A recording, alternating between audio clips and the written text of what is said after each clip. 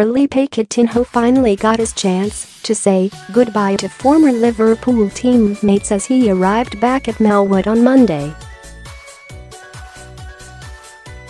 Coutinho, who left to join Barcelona in a move worth pounds £145 million earlier this month, was welcomed back by Adam Lallana.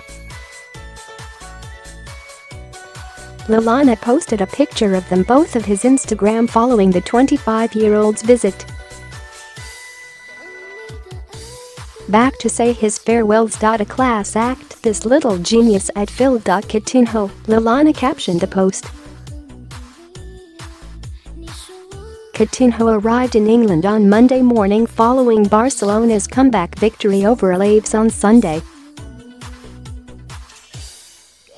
He made his full La Liga in the 2-1 victory before being substituted in the 66th minute. There have been calls for Jurgen Klopp to use some of the money from Coutinho's sale to strengthen the side's attack. Klopp, however, does not feel the need to panic. It is not about replacing anyone, he said.